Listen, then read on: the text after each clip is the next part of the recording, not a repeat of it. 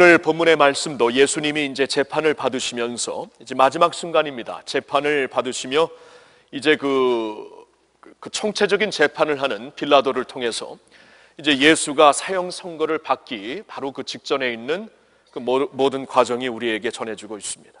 우리가 요한복음 18장부터 시작되는 예수님의 그 재판의 과정을 다 지켜보면서 한 가지 깨달은 바가 있습니다. 그것은 아이러니한 메시지가 그 안에 있다는 것입니다. 분명히 피고석에서 재판을 받으시는 분은 예수님이신데 예수님이 이 모든 것을 통제하십니다. 컨트롤하세요. 그렇죠? 그리고 그 모든 과정 속에서 하나님께서 미리 예비하시고 예언하신 말씀들이 다 이루어지는 것을 볼 수가 있습니다. 안나스를 통해 가야바를 통해 그 다음에 헤롯을 통해 그 다음에 빌라도를 통해 이렇게 계속 예수님은 끌려가시어서 재판을 받으시고 있지만 그 모든 과정이 힘없이 컨트롤 받으면서 끌려가는 예수의 모습이 아니라 하나님께서 미리 준비하시고 예언하신 말씀이 그대로 성취되면서 우리의 구속 사역을 이루시기 위해 온전한 그 길을 걷고 계시는 예수님의 모습이 이 그 모든 재판 속에서 보여지고 있는 것입니다. 굉장히 아이러니해요. 아, 역설적입니다. 그래서 이 그 주님이 컨트롤 당하시는 것 같지만 도리어 하나님의 섭리 가운데 모든 것을 컨트롤 하시면서 그 상황과 가정 가운데서 하나님이 주시는 분명한 메시지가 있죠. 예를 들어서 지난주에는 우리가 이 말씀을 보았지만 빌라도가 피투성이가 된 예수님을 사람들에게 끌고 나와서 그 라틴어로 외칩니다. Ecce homo, ecce homo 이 사람을 봐라. 이 사람을 봐라. 물론 빌라도의 의미는 이 푸트 성이가 난 이 초라한 사람을 봐라. 무슨 왕이냐 하면서 이 비꼬는 말로서 에케 호모 그는 말하고 있지만 하나님은 그러한 과정 속에서도 진리를 선포하시죠. 이 사람이다. 이 사람을 보아라. 비록 빌라도의 입에서 나왔지만 성경에 기록하면서 그리고 구약 성경부터 계속 우리에게 알려주신 말씀 하나님께서 준비하시고 예비하신 바로 이 사람이다. 그 구약 성경에 이사야 53장에 52장에 또한 가리켰던 그 사람이다. 피투성애가 된 이 사람을 통해 하나님의 구속 사역이 이루어지는 것이다. 여기 너희의 구세주가 있다. 그를 보라고 말씀을 하시고 있지 않습니까? 굉장히 역설적이에요. 아이러니한 메시지가 여기서 들려주고 있습니다. 오늘 본문은 예수님이 이제 사형 선고를 받으시는 그러한 시점인데 여기서도 굉장히 역설적인 예수님에 대한 역설적인 말씀이 세계가 명확하게 전파되고 있습니다. 그것은 바로 그는 하나님의 아들이라는 것과 왕이라는 것과 어린 양이라는 사실이 오늘 본문에서 그대로 선언이 되고 있습니다. 오늘 그래서 이 설교 제목에 그 순서 그대로 하나님의 아들 왕 어린 양으로 순서대로 이렇게 제목을 써보았지만 오늘 이 설교 메시지는 좀 거꾸로 다루고 싶습니다. 이 어, 어린 양, 그 다음에 왕, 그 다음에 하나님의 아들이라는 사실을 오늘 본문에서 역설적인 메시지, 아이러니한 메시지를 같이 한번 우리가 생각해 봤으면 좋겠습니다. 첫 번째로 예수님에 대한 메시지가 무엇입니까? 그는 어린 양이라는 것입니다. 어린 양. 여러분 오늘 본문을 보면은 어린 양이라는 단어가 사실 없습니다. 없지만 오늘 본문의 배경을 우리가 상상해 보면은 이 메시지는 우리에게 명확하게 들려지고 있습니다. 13절과 14절을 다시 보실까요? 빌라도가 이 말을 듣고 예수를 끌고 나가서 돌, 돌을 깐 뜰에 있는 재판석에 앉아 있더라. 자, 이제 마지막 재판, 마지막 심판자로서 재판의 선언을 하는 그러한 자리입니다. 그래서 이 올려져 있는 재판석 돌로 이그 만들어져 있는 재판석에 그는 앉아서 이제 예수에 대한 심판의 결과를 선언하게 되며 한 번 선언하면은 다시 무효시킬 수가 없는 그 순간입니다. 근데 그 순간이 어, 느 때였는가 14절에 이렇게 말씀하고 있습니다. 이 날은 6월절의 준비일이요 때는 제 6시라 말씀을 하고 있습니다. 이 날은 6월절의 준비, 6월절 전날이었고 제6시가 되었더라. 여러분 이 배경을 우리가 한번 생각해 본다면요. 이 이스라엘의 6월절은 대명절입니다. 유대인들이 전국에서 전 세계에서 모여들어 이 예루살렘 성전에 그들이 모여들어 하나님께 어린 양을 잡아가지고 바치는 제사하는 날입니다. 6월절 패스오버를 했다. 그러니까 그들이 애굽에서 나오는 그 전날 밤에 마지막 하나님의 재앙이 애굽 땅에 임했을 때 죽음의 사자가 애굽에 있는 모든 집을 다니면서 그 장자를 죽였지만 하나님의 말씀을 듣고 양을 잡아가지고 피를 문 기둥에 바른 자들마다 그들의 집은 이 죽음의 사자가 패스오버를 했기 때문에 점프오버를 했기 때문에 패스오버 명절 이그 6월절 명절이라는 이 대명절을 지키는 날이었어요. 그날은 양을 잡는 날이었습니다. 그런데 있잖아요. 전 세계에서 전국에서 그리고 전 세계에서 모여든 유대인들이 그날 한 자리에 모여 있 기 때문에 그날 잡히, 잡혀 바쳐지는 양들은 아마 수십만 마리가 되었을 겁니다. 수십만 마리. 그러니까 이 그 6월절 그, 그 그날부터 이 양을 준비하는 것은 불가능한 일입니다. 그래서 유대 전통을 보면 그 전날 항상 잡습니다. 준비를 그 전날부터 하는 것이에요. 언제부터 하냐면 정호가 지나면서 오후 때부터 시작이 돼. 오후와 저녁에 계속 준비를 하였다가 그 다음날 6월절이 시작되는 그 일주일 동안의 셀레브레이션을 제사 제물을 올려드리면서 하나님 앞에 그 예배를 드렸다는 것입니다. 근데 지금 요한이 무슨 말을 하고 있냐면은 그 제6시라는 것은 정오, 정오를 가리키는데 이제 정오가 되면서 오후가 시작되면서 그때부터 양들이 잡히기 시작하는 거예요. 그러면 그 순간 이 예루살렘 전 도시에서는 양 죽는 소리로 가득합니다. 양들이 우는 소리, 피 흘리는 소리, 그냥 뭐 죽어가는 소리가 온 도성을 완전히 압도하는 그 순간이에요.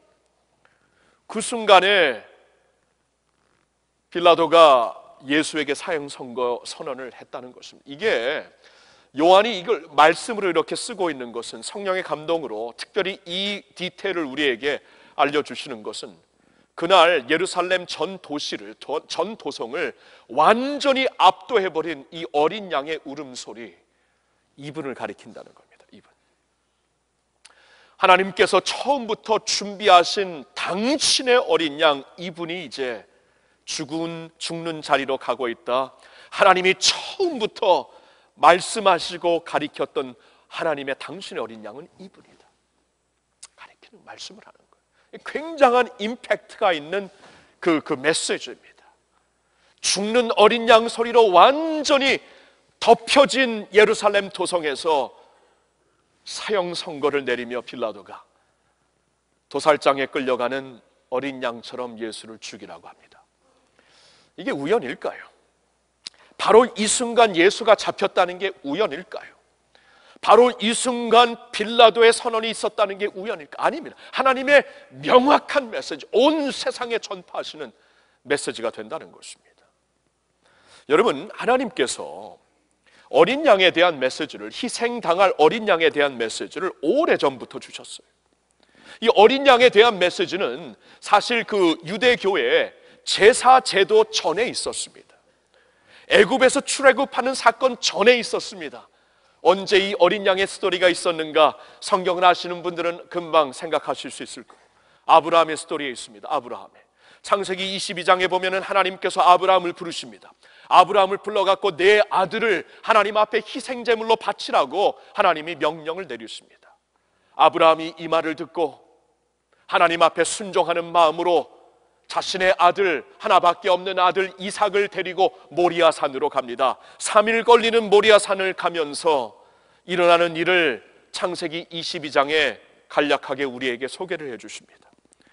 3일의 길을 가는 동안에 아들 이삭이 아버지 아브라함에게 묻습니다. 아버님, 아버님, 우리가 하나님 앞에 드려야 될 이 그 번제물을 위한 드려야 될 나무가 준비되어 있고 불이 준비되어 있는데 번제물 어린 양은 어디 있습니까? 지금 보여줬어야 되는데 너무 일찍 보여줬네. 너무 앞서가도 안 돼요. 무슨 말씀, 무슨 말씀을 하나님이 그때 주시냐면 이렇게 말씀. 아브라함이 이르되 내 아들아 번제할 어린 양은 하나님이 자기를 위하여 친히 친히 준비하시리라. 여러분, 어, 아브라함이 이 사실을 처음에 몰랐습니다.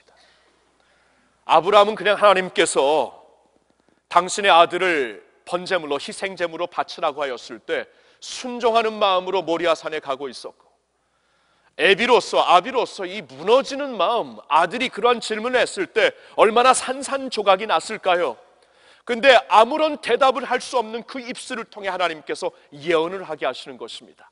우리 한번 다 같이 이 말씀을 읽어보겠습니다.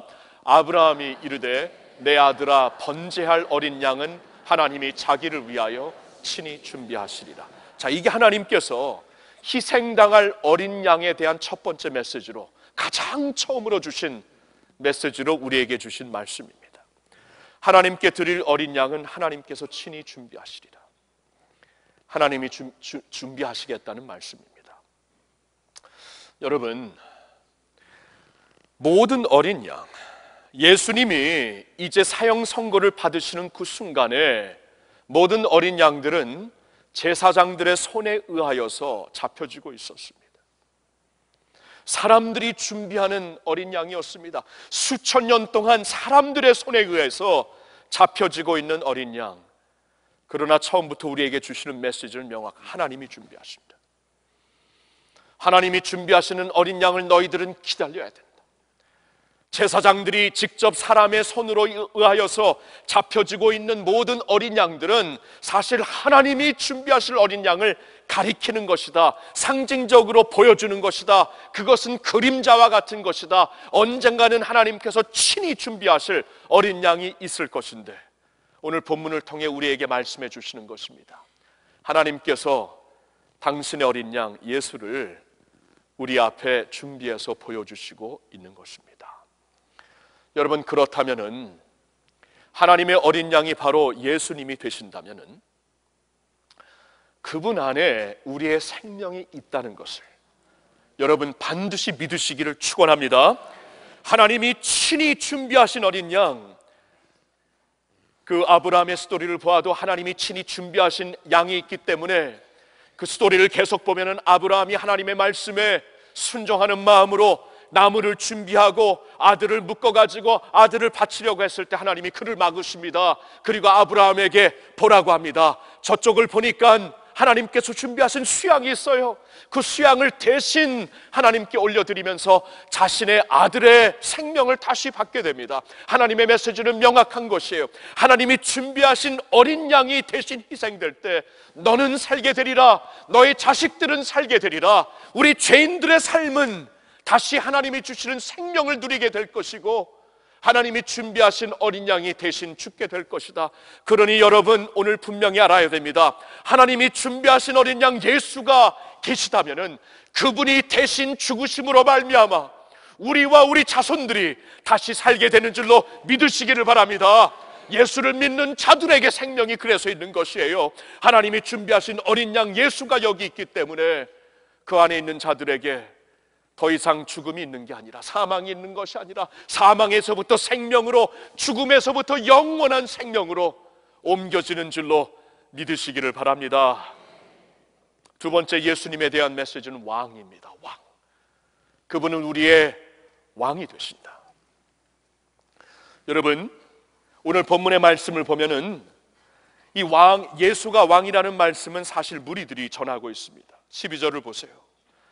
이러함으로 빌라도가 예수를 놓으려고 힘썼으나 유대인들이 소리질러 이르되 이 사람을 놓으면 가이사의 충신이 아니니이다. 무릇 자기를 왕이라 하는 자는 가이사를 반역하는 것이니이다. 무리들은 어떻게 해서든지 유대 무리들은 예수를 죽이려고 예수가 죽어야 되기 때문에 그들은 빌라도에게 이렇게 압박을 하는 겁니다. 이 사람이 예수라는 자가 자칭 왕이라고 말하고 있는데 가이사 왕의 가이사 왕 외에 다른 왕이 어디 있으랴? 그러니 자칭 왕이라고 하는 자는 가이사를 반역하는 죄가 있는 자이기 때문에 반드시 죽어야 된다. 예수를 죽이려고 예수가 왕이라는 것을 그들은 말하고 있습니다. 그리고 빌라도는 그 예수를 이제 그 압박 때문에 할 수 없이 예수를 사람들 앞에 보이면서 보라 너희 왕이다. 너희가 그렇게 죽이려고 하는 너희 왕이다.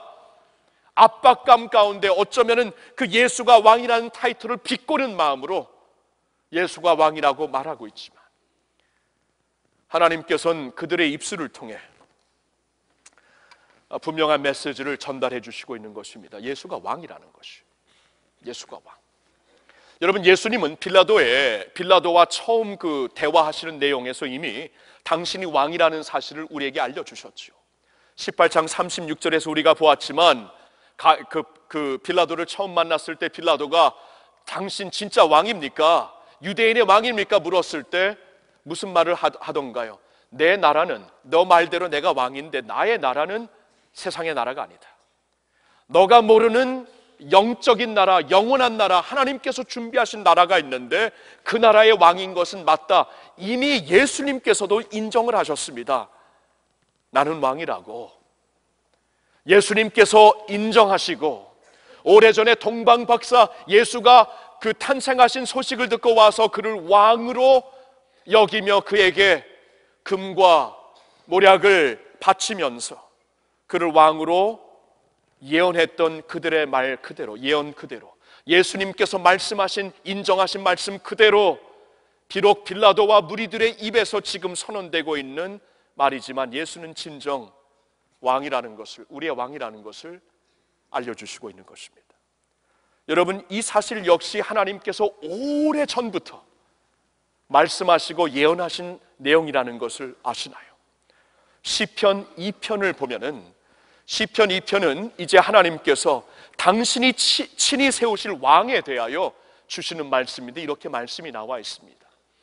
어찌하여 이방 나라들이 분노하며 민족들이 헛된 일을 꾸미는가? 세상의 군왕들이 나서며 관원들이 서로 꾀하여 여호와와 그의 기름 부음 받은 자를 대적하며 우리가 그들의 맨 것을 끊고 그의 결박을 벗어버리자 하는도다. 여기 보면은 하나님께서 친히 기름 부어 세우실 분이 있는데 왕으로 세우실 분이 있는데 이방 나라들이 분노하기 시작합니다. 민족들이 이것은 헛된 일이라고 꾸미기 시작합니다. 세상의 군원들이 나서면서 관원들이 꾀하며 이 여호와께서 기름 부어 세우실 자를 무너뜨리 그냥 완전히 끌어내리려고 합니다. 왜 그렇습니까? 세상의 민족, 세상의 왕들은 자신들의 권력을 자랑하고 싶어 해요. 자신의 권력과 힘을 자랑하고 싶어 하니까 하나님께서 따로 기름 부어 세우신 자를 대적할 수밖에 없는 것입니다. 바벨탑을 세웠던 인류들을 우리가 생각하지요. 기억할 수 있죠. 바벨탑을 세웠다는 것은 하나님의 왕권을 우리가 받아들이지 않겠다는 것입니다. 하나님이 우리를 지배하신 것을 받아들이지 않고 우리 마음대로 살고 싶다. 인류 마음대로 우리의 힘을 자랑하며 우리의 지식을 자랑하며 우리의 정력을 누리면서 살고 싶다고 하면서 바벨탑을 세우지 않았습니까? 마찬가지라는 것입니다. 하나님께서 당신의 기름 부어 세우실 분이 있는데 그 분을 끌어내리려고 민족들이 분노하며 군왕들이 꾀하면서 나선다고 말씀을 하십니다. 그 다음 4절부터 봅니다. 하늘에 계신 이가 웃으시며 주께서 그들을 비웃으시리로다. 하나님께서 그 모든 일을 바라보시면서 당황하지 아니하세요. 하나님께서 도리어 웃으신다고 하십니다. 왜 이렇게 민족들이 왜 이렇게 권력을 하나님께로부터 받은 권력을 받은 자들이 왜 이러고 있는가? 하나님께서 전혀 당황하지 않고 웃으신다고 하십니다. 그리고 때가 되면은 오절에 그때 분을 바라며 진노하사 그들을 놀라게 하여 이르실, 이르실 때가 온다는 것입니다. 하나님이 언젠가는 심판하시겠다는 것. 하나님의 주권을 인정하지 못하는 세상의 권력자들 하나님께서 진노하고 언젠가는 심판하시겠다는 겁니다. 그러면서 6절에 말씀하십니다. 내가 나의 왕을 내 거룩한 시원에 세웠다 하시리로다. 기어코 하신다는 것입니다. 하나님은 기어코 당신의 왕을 당신이 친히 기름 부어 세우실 시원의 왕을 세상에 세울 것이며 민족들은 이것을 분노해 하며 군왕들은 이 왕이 세워지지 못하도록 아우성을 떨겠지만 하나님은 기어코 기필코 당신이 기름 부어 세우실 왕을 온 세상 앞에 보여주시겠다고 말씀을 하시는 것이에요. 빌라도는 지금 자신의 권력을 자랑하고 있습니다. 예수에게 무슨 말을 하고 있습니까? 내게 있는 권력을 당신이 모르는가? 왜 아무 말도 안 하고 있는가? 내가 당신을 놓아줄 수 있는 권력이 있으며 당신을 당신을 죽일 수 있는 권력이 내게 있는 것을 알지 못하는가 하면서 자신의 권력을 그는 자랑합니다. 무리들은 가이사의 권력을 바라보겠다고 얘기를 합니다. 우리에게는 오직 가이사 왕뿐이 없습니다. 가이사가 절대적인 시설이 절대적인 권력을 갖고 있기 때문에 우리는 그 권력 앞에 머리를 숙이겠습니다 하면서 무리들은 말합니다. 하나님께서 기름 부어 세우시는 왕이 여기 있는데 빌라도나 무리들은 세상에 권리 있는 자들 앞에 머리를 숙인다고 말을 하고 있습니다. 군왕들이 분노하고 꾀를 범하는 것이에요. 그러나 하나님의 계획이 수포로 돌아가지 않습니다. 하나님의 계획 그대로 하나님은 당신의 왕을 당신의 기름 부으심으로 반드시 세우실 것이고 그 왕으로 말미암아 하나님의 선하신 통치, 하나님의 새로운 공의와 사랑의 통치가 이루어질 줄로 믿습니다. 그래서 예수님을 가리켜 우리에게 말씀하시는 거예요. 예수가 누구인가? 우리의 왕이라는 것입니다. 우리의 왕이라는 것이. 여러분, 백성들의 운명은 왕에게 달려 있습니다. 지도자를 잘못 만나는 백성들은 불쌍해요. 왕을 잘못 만나는 백성들은 불쌍해요. 절망하고 배고프고 죽어가며 어두움에 깔려 있을 수밖에 없습니다. 북녘 땅에 있는 우리 동족들을 보세요. 지도자 잘못 만나서 저렇게 힘든 것입니다. 왕을 누굴 만나느냐? 백성들의 운명이 달려 있는 것입니다. 근데 하나님께서 우리에게 선한 왕을 절대적이고 선하신 왕을 우리에게 소개하십니다. 그분이 누구신가? 예수 그리스도. 백성들을 위해 죽으시는 예수 그리스도. 마귀는 도적질하고 죽이려고 오지만 나는 선한 목자라 선한 목자는 양들을 위해 자기의 목숨을 버리신다고 말씀하시지 않고 있습니까? 예수님은 선한 목자로서 우리를 위하여 죽으시고 자기 목숨을 버리시는 왕이 되신다는 것입니다. 죽으실 뿐만이 아니라 다시 살아나신 그분이에요. 다시 살아나셨기 때문에 그분이야말로 우리를 위해 죽으시고 다시 살아나신 그분이 우리의 왕이라면은 그분이야말로 우리를 진정 그의 사랑과 그의 공의와 그의 평강과 은혜 가운데 우리를 인도하시는 왕이 되시는 줄로 믿습니다. 그래서 성경은 말하고 있는 것이에요. 하나님의 나라는 성령 안에서 의와 평강과 희락인 것이다. 여러분 들었나요? 로마서 14장 17절에 하나님의 나라는 그 왕권이 통치하고 있는 하나님의 나라는 세상의 정권이 어떠할지라도 그렇다면 지금 북한에 살고 있는 우리 형제 자매들도 우리의 진정한 왕이 예수 그리스도이라는 것을 믿고 그분의 나라 안에 있는 이상 주님이 주시는 의와 샬롬 평강과 주님의 희락 기쁨을 누리면서 살 수 있는 줄로 믿습니다. 언젠가 통일이 되면 그분들에게 물으세요. 그렇게 지하교회에서 힘들고 어렵고 죽음 앞에서 항상 살았지만 당신들의 마음속에 두려움뿐이었습니까? 물으시면 분명히 그들이 얘기할 것이 아닙니다. 우리의 마음에는 이 세상이 모르는 기쁨이 있었어요. 우리의 마음에는 세상이 모르는 평강이 있었고 하나님의 공의가 있었습니다. 이러한 간증을 분명히 듣게 되리라고 믿습니다. 왜냐하면 하나님의 나라, 하나님의 왕권, 왕이 되시는 예수님이 우리를 통치하시기 때문입니다. 여러분, 오늘 이 사실을 분명히 아셔야 돼요.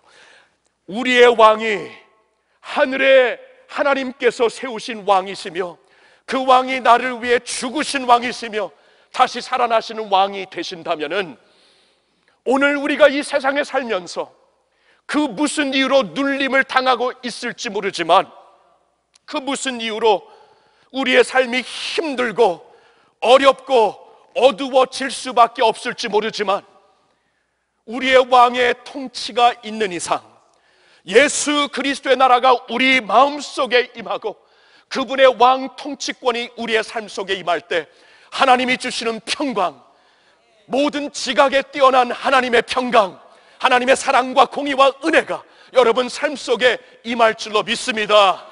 여러분 이것을 누리셔야 돼요. 예수님은 우리의 왕이 되시기 때문입니다. 세 번째로 오늘 주시, 주시 는 말씀은 예수는 바로 어린 양, 하나님의 아들이 되신다는 거예요. 어린 양 예수 그리스도 왕이신 예수 그리스도 그리고 하나님의 아들이신 예수 그리스도가 되십니다. 여러분 오늘 말씀을 보세요. 7절을 보시면은 유대인들이 대답하되 빌라도에게 말합니다. 우리에게 법이 있으니 그 법대로 하면 그가 당연히 죽을 것은 그가 자기를 하나님의 아들이라 하비니이다. 무리들이 또 한 번 예수를 죽이려고 말하는 비꼬아서 말하는 저주하면서 말하는 말이지만 그 말이 아이러니하게 하나님의 진리가 됩니다. 그는 자칭 하나님의 아들이라 말한 분이다. 그래서 그를 죽여야 된다고 무리들은 말하고 있습니다. 이 말을 듣고 8절에 보니까 베드로가 두려워하기 시작합니다. 아, 베드로가 아니죠. 빌라도가 두려워하기 시작합니다. 빌라도가. 왜 두려워했을까? 아마 그날 밤에 예수님을 신문하면서 아마 엄청난 것을 느꼈을 거예요. 주님 앞에 이 사람들에게 찾을 수 없는 엄청난 무슨 위험을 아마 분명히 체험했을 거예요. 그래서 이거 가슴이 안 그래도 심상치 않았는데 사람들이 하, 나님의 아들이라 그러니까 두려워하기 시작합니다. 그뿐이 아닙니다. 그날 그날에 그 미세스 빌라도 그러니까 아내죠 아내 그 아내가 꿈을 꿨는데 심상치 않은 꿈을 꿉니다. 마태복음 27장 19절에 이렇게 나와 있습니다. 총독이 재판석에 앉았을 때 바로 이때입니다. 그의 아내가 사람을 보내어 이르되 옳은 사람에게 이 이너센 죄 없는 옳은 사람에게 아무 상관도 당신은 하지 말아야 됩니다. 오늘 꿈에 내가 그 사람으로 인하여 애를 많이 태웠나이다 하더라. 이 아내의 꿈 얘기를 듣고 또 섬찟한 거예요. 그렇죠? 아마 이 빌라도도 밖으로는 힘이 많았는지 모르지만 집에서는 절대로 총독이 아니었죠. 남자들 잘 아시죠? 집에서는 밖에서 아무리 큰 소리, 집에서는 총독이 아닙니다. 마누라, 마누라의 말을 들으니까 깜짝 놀라니까 깜짝 놀라. 와, 여러분 그 마누라의 말을 잘 들어야 남자 인생이 피는데 이 빌라도가 필 뻔했다가 여기서 완전히 마누라의 말을 들으면 끝까지 들어야 되는데 섬짓하다가 다시 그냥 예, 그냥 흩어버리고 다시 예수를 사형 선고를 한 거. 이게, 이게 문제예요. 들으려면 끝까지 들으셔야 돼. 남편들 끝까지 들으셔야 되는.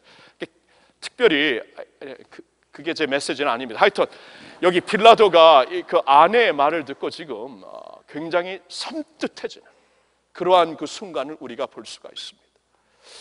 하나님의 왕이 아닌 아, 하나님의 아들 자신이 보아서도 그럴 것 같고 무리들도 하나님의 아들이라고 지금 아우성이고 자기 아내까지도 이런 꿈을 꿨다고 하니까 이 빌라도의 마음이 편할 수가 없습니다. 근데 사실 하나님은 그때 메시지를 주시고 있었던 거예요. 그는 하나님의 아들이다. 이 메시지를 명확하게 들어야 되는데 빌라도가 듣지 못한 게 문제였죠. 이것을 듣지 못하는 게 오늘도 문제가 되는 것입니다.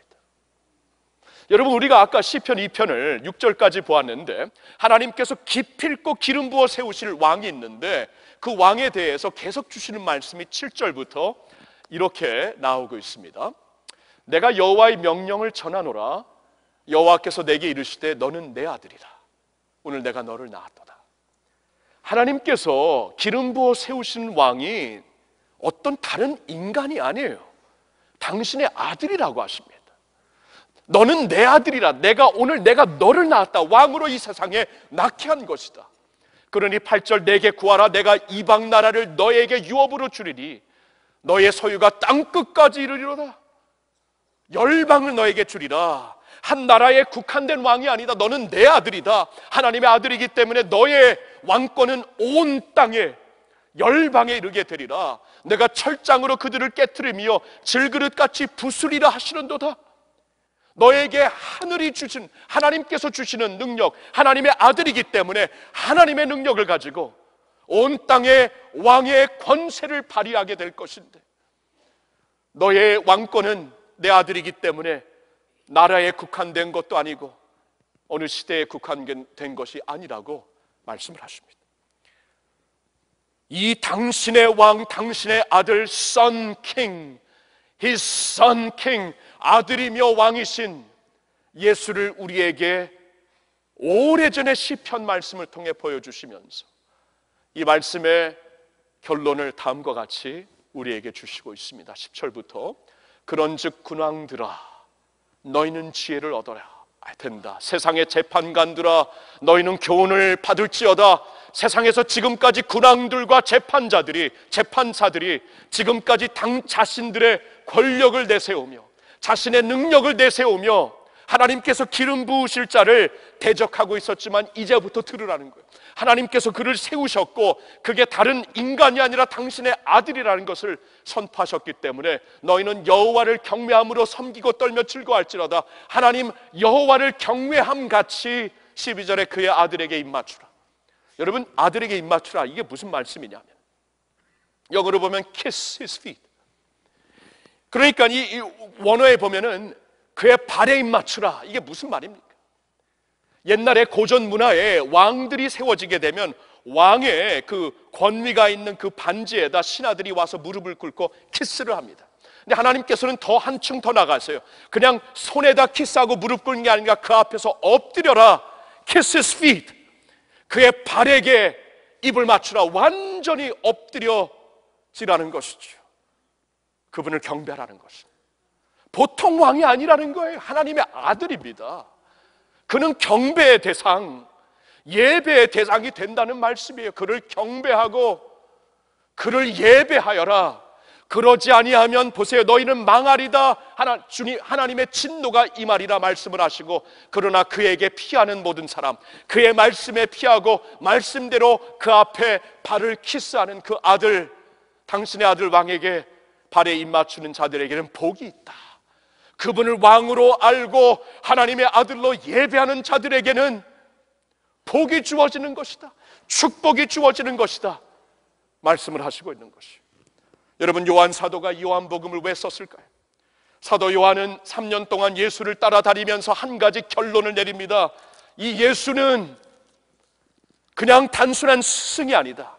단순한 랍비가 아니라 이 예수는 하나님의 아들이라는 것을 그는 확신을 하고 이 복음서를 쓰게 되었어요. 그래서 우리가 벌써 거의 3년 전에 보았지만 요한복음 1장을 시작하면서 그가 뭐라고 합니까? 태초에 말씀이 계시니라.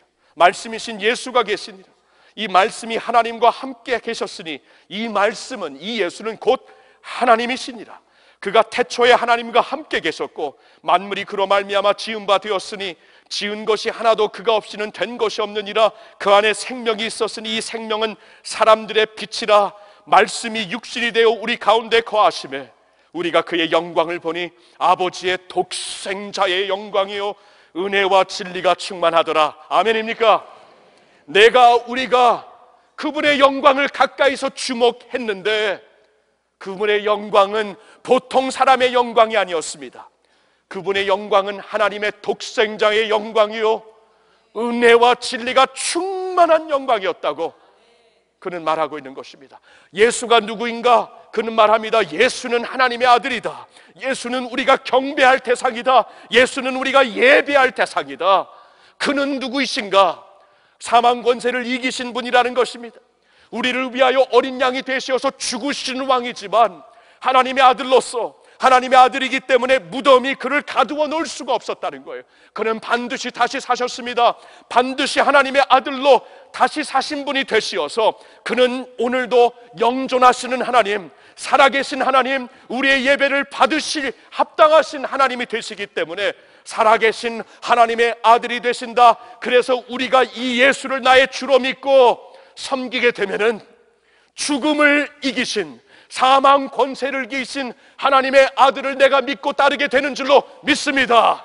아들이면은 상속자 곧 하나님의 상 하나님의 상속자요.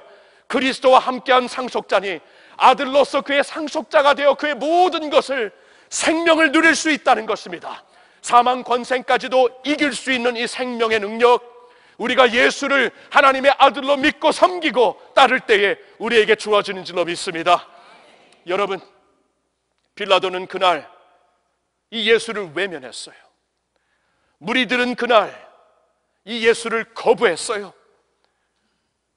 그러나 그를 영접하는 자, 곧 그 이름을 믿는 자들에게는 하나님의 자녀가 되는 권세를 주시는 줄로 믿습니다. 이게 요한복음 1장 12절의 약속이지요. 그들은 예수를 거부했고 필라도는 예수를 외면했지만 그를 영접하는 자마다 곧 그 이름을 믿는 자마다 하나님의 자녀가 되는 권세를 주셨으니 하나님의 자녀가 되셨다면 그의 상속자가 되었다는 것이고 그의 상속자가 되었다면 오늘의 기쁨과 내일의 소망을 그에게로부터 내가 누릴 수 있다고 말씀하시는 것이라고 믿습니다. 어, 이것을 말씀하는 거예요. 그래서 성경은 말합니다. 그리스도 예수 안에 있는 자들에게는 아무것도 염려하지 말고 들으셨나요? 아무것도 염려하지 말고 오직 기도와 간구로 다만 기도와 간구로 너희 구할 것을 감사함으로 하나님께 아뢰라. 그리하면 모든 지각에 뛰어난 하나님의 평강이 너의 그리스도 예수 안에서 너의 생각과 마음을 지켜 주실 줄로 믿습니다. 아무것도 염려하지 말라. 어떻게 이게 가능한 거예요? 어떻게? 이 세상 살면서 아무것도 염려하지 않을 수 있는 무슨 명분이 있습니까? 명분이 있습니다. 그리스도 예수 안에서. 그는 하나님의 어린 양이시며 왕이시며 하나님 아들, 하나님 자신이 되고 되시는 분이기 때문에 그리스도 예수 안에 있는 자들에게는 하나님을 나의 주로 믿고 나의 친구로 나의 구세주로 알고 따르고 있는 나의 왕으로 섬기고 있는 자들이기 때문에 그리스도 예수 안에서 아무것도 아무것도 염려하지 말고 아무것도 염려하지 마시고요. 여러분 가정, 여러분 자녀, 여러분의 건강, 이 세상에 살면서 이 염려로 눌림 받을 수밖에 없지만 아무것도 염려하지 말고 오직 기도와 간구로 그리스도 예수께 아랠 것을 감사함으로 아뢰시기를 바랍니다. 이게 바로 예수님이 우리의 왕이시고 우리의 구세주가 되시고 우리의 하나님이 되시기 때문에 우리가 누릴 수 있는 축복이라고 믿습니다. 모든 영광 하나님께 올려드립니다. 할렐루야, 할렐루야.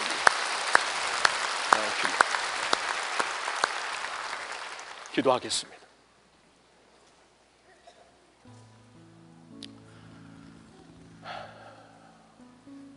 주님, 주님 세상에 살면서 어찌 아무 염려가 없을 수 있겠습니까?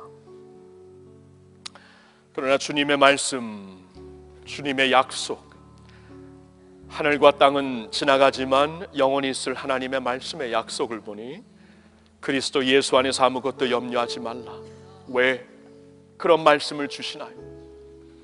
하나님께서 친히 준비하신 어린 양, 사람이 준비한 양들이 아니라 하나님께서 친히 준비하신 어린 양 예수 그리스도를 우리가 믿었기 때문에 구원받은 백성들이기 때문에 이러한 고백을 할 수 있는 줄로 믿습니다. 예수님은 또한 우리의 왕이 되십니다. 우리를 위해 죽고 다시 사신 왕이신 예수님. 왕이신 예수님이 나의 삶을 이제 지배하시고 통치하시고 있기 때문에 그분의 평강과 의와 사랑이 이제 나의 삶에서 보여지는 평강과 사랑이 의가 될 것이기 때문에 우리가 이 주님의 약속을 붙잡고 살 수 있게 되는 줄로 믿나이다. 그리고 예수님은 하나님의 아들, 하나님의 아들, 하나님 자신이 되시는 우리 주 예수, 그분을 믿고 그분을 경배하는 이상 세상이 줄 수도 없고 뺏어갈 수도 없는 하나님의 능력과 생명이 우리 것이 되는 줄로 믿나이다. 예수를 하나님의 아들로 내가 믿고 따르며 그를 경배하며 순종할 때에 주님 안에서 누리는 승리 주의 백성들에게 허락하여 주시옵소서. 이 승리가 오늘 우리의 삶 속에 우리의 가정과 자녀들에게 적용이 되어서 주님이 주시는 승리로 오늘도 감사하며 찬양하며 주님 앞에 감격할 수 있는 저희들 모두가 되게 해 주시옵소서. 할렐루야 우리 주 예수님의 이름으로 감사드리며 기도하옵나이다. 아멘. 아멘. 우리 다 같이 일어나서 이 시간 찬양합니다. 주 하나님 독생자 예수 우리에게 주셨습니다. 부활하신 주님을 찬양합니다.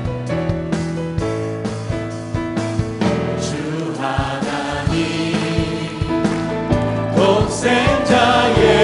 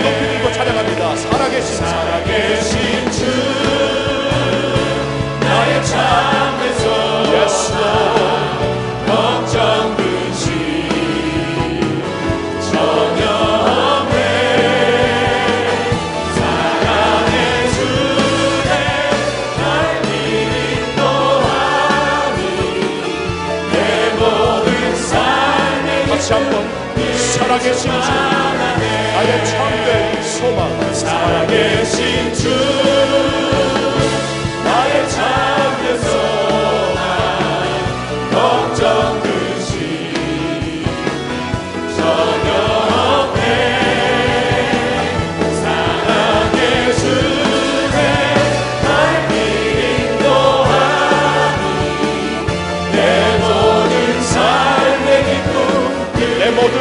모든 삶의 기쁨 늘 충만하네. 내 모든 삶의 기쁨. 늘 충만 내 모든 삶의 기쁨 내 충만하네.